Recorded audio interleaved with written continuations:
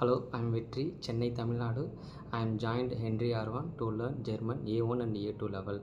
They offer me online coaching with recorded video and e-learning study material. The online coaching are very good. The teachers all are well professional and humbled. They clear all doubt in the classroom.